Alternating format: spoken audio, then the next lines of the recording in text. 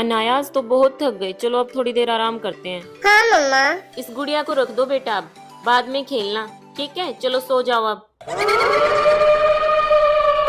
अरे ये गुड़िया फिर से कैसे आ गई यहाँ पे? यहाँ पे तो ये नाया बार बार उठाए।